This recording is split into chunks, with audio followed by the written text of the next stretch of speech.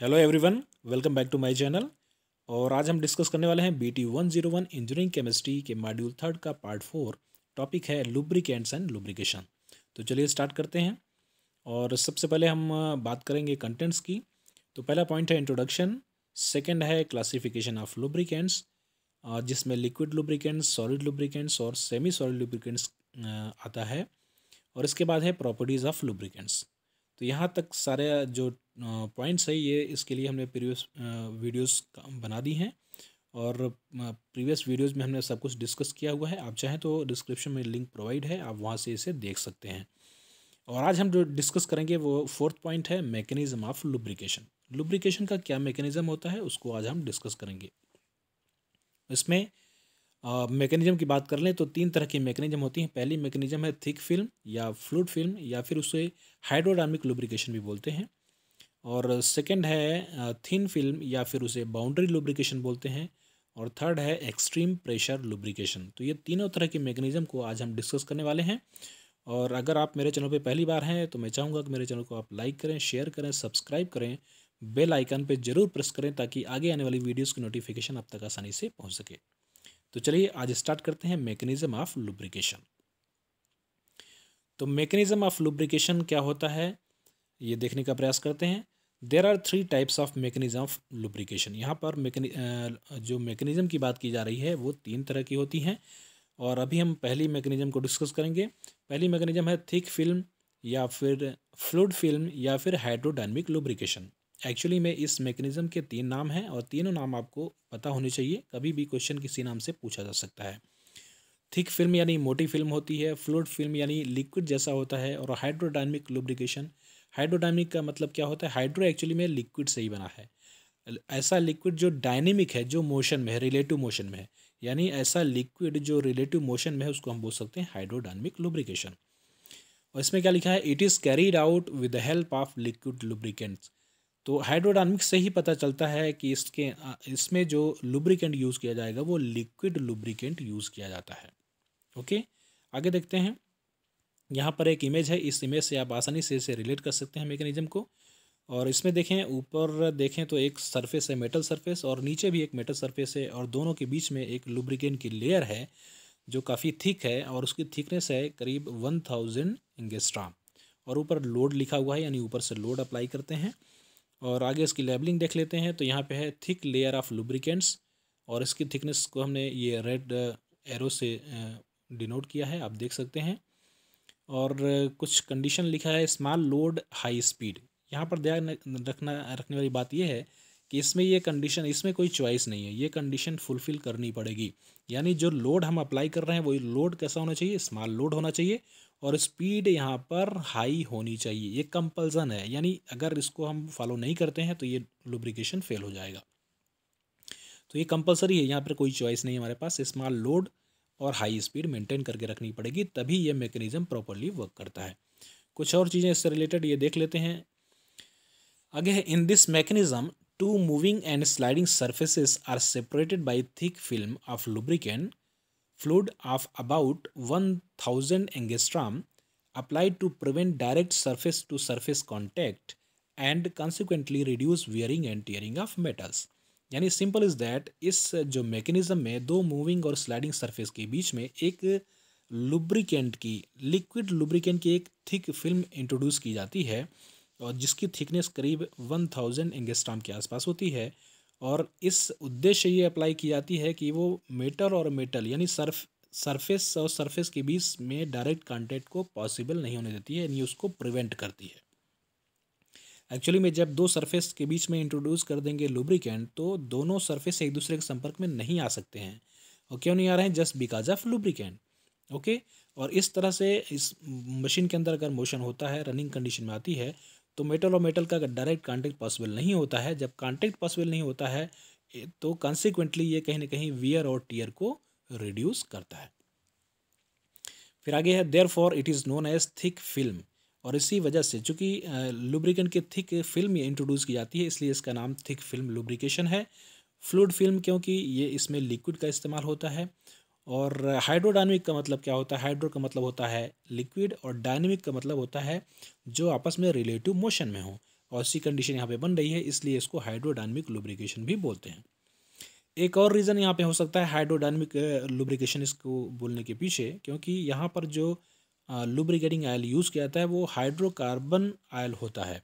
और hydrocarbon oil का इस्तेमाल करने की वजह से इसका नाम पड़ा है हाइड्रोडाइनमिक लुब्रिकेशन ओके? तो आई होप ये क्लियर होता होगा। आ, कुछ और चीज़ें इससे रिलेट करती हुई हैं उसको भी डिस्कस कर लेते हैं।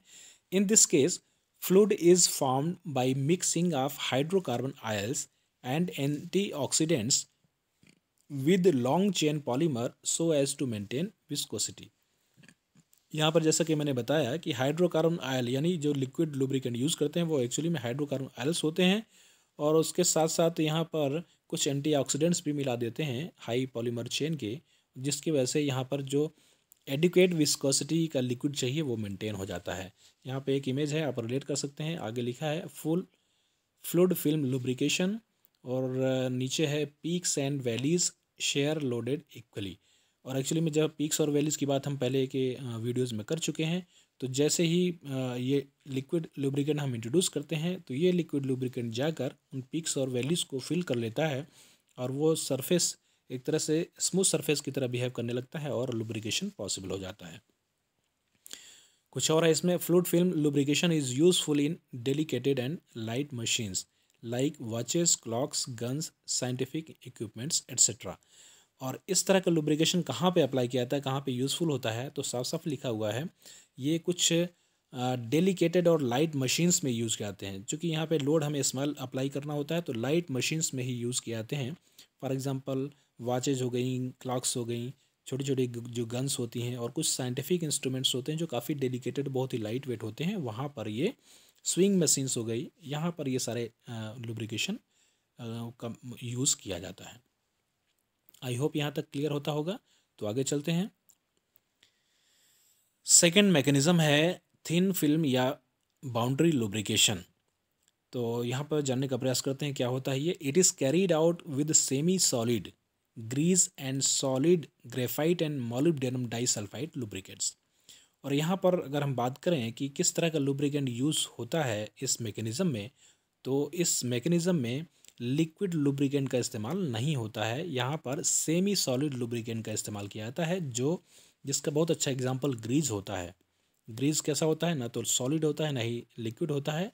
दोनों के बीच की मेटा स्टेज होती है, जिसको बोलते हैं सेमी सॉलिड स्टेट तो सेमी सॉलिड स्टेट वाला यहाँ पे लिक्विड लुब्रिकेंट यूज़ करते हैं। और इसके साथ साथ कुछ सॉलिड लुब्रिकेंट्स का भी यहाँ पे इस्तेमाल किया जाता है, जैसे ग्रेफाइट और मॉलिब्डेनम डाइसल्फाइट ओके? यहाँ पर एक इमेज है बाउंड्री लुब्रिकेशन और थिन फ़िल्म लुब्रिकेशन का इमेज है। यहाँ पर देखेंगे तो दो जो मेटल सरफेस है, ऊपर की सरफेस जो रेड एरो से डिनोट है और नीचे की सरफेस जो ग्रीन एरो से डिनोट है। इन दोनों के बीच में जो होता है स्पेस काफ़ी कम होता है और यहाँ पर कोई भी थिक फ़िल्म अगर हम अप्लाई करें तो वो यहाँ पे पॉसिबल नहीं हो पाएगी बिकॉज़ थिक फ़िल्म अगर अप्लाई करते हैं तो थिक फ़िल्म यहाँ पे स्क्वीज आउट हो जाएगी, बाहर निकल जाएगी, क्योंकि यहाँ पे स्पेस बहुत कम है। तो थिक फ़िल्म अप्लाई नहीं हो सकती, यहाँ पे थिन फ़िल्म अप्लाई होगी और थिन फ़िल्म ही सारा का सर सारा मेटल का लोड कैरी करेगी। तो थिन फ़िल्म में, उस लुब्रिकेंट में कुछ ऐसी प्रॉपर्टीज़ कुछ ऐसी क्वालिटीज़ होनी चाहिए, जो मेटल से स्टिक हो जाए और पूरे लोड को विद स्टैंड कर ले आसानी से। और कुछ जानने का प्रयास करते हैं इसमें। Boundary lubrication is a condition in which the lubricant film becomes too thin to provide total separation यानी यहाँ इस बाउंड्री लुब्रिकेशन का मतलब ये है कि एक तरह से एक बाउंड्री बना लेती है। ये मेटल सरफेस से स्टिक होकर पतली थिन लेयर भी मेटल और मेटल को सेपरेट कर पाती है। ठीक है? और आगे है एक और इमेज यहाँ पर भी देख सकते हैं सरफेस ए सरफेस बी आपको साफ़ साफ़ दिख रहा है। बाउंड्री लुब्रिकेशन यहाँ पे हो रहा है। और देखेंगे तो बहुत ही थिन, बहुत ही थिन लेयर है लुब्रिकेंट की, जो मेटल सरफेस से स्टिक हो चुकी है और वही सारा का सारा लोड विद स्टैंड कर रही है और सरफेस और सरफेस के कांटेक्ट को प्रिवेंट कर रही है, जिससे यहाँ पे किसी भी तरह का फ्रिक्शन नहीं होता है और लुब्रिकेशन प्रॉपर हो जाता है। कुछ और चीज़ें हैं। In this type of lubrication a thin film of lubricant is adsorb on the surface of surface by weak van der Waals forces यानी जो लुब्रिकेंट हमने यहाँ पे इंट्रोड्यूस किया है, वो एक्चुअली में क्या करता है? सरफेस से एड्जॉर्ब हो जाता है। उसमें अधिशोषित हो जाता है और कुछ फोर्स कुछ बॉन्ड फोर्स यहाँ पे लग जाते हैं। कौन कौन कौन सा लगता है? वो वीक बॉन्ड होता है वंडर वाल फोर्स उसके थ्रू ये सरफेस से जाके अटैच हो जाता है और सरफेस और सरफेस को कांटेक्ट में नहीं आने देता है। आगे देखते हैं। ये बाउंड्री लुब्रिकेशन एक लाइन और यहाँ पे है। Thin film lubrication is operating at relatively low speed and heavy loading pressure और यहाँ पर देखेंगे तो थोड़ा सा चॉइस हमें मिल जाती है। चॉइस क्या मिल जाती है? कि लोड यहाँ पे हम हैवी कर सकते हैं। अभी पिछले वाले मैकेनिज्म हमने देखा था कि स्मॉल लोड अप्लाई करना है स्पीड हाई रखना है।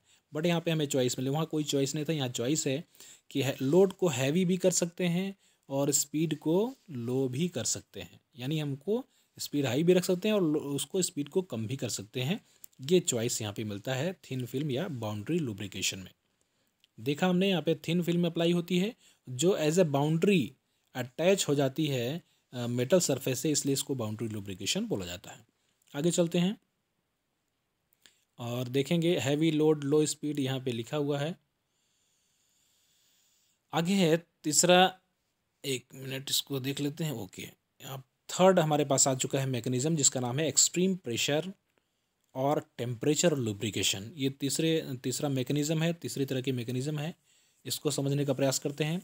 In this mechanism moving or sliding surfaces are under high pressure and speed therefore it is known as extreme pressure lubrication अब दो मैकेनिज्म हमने देखा।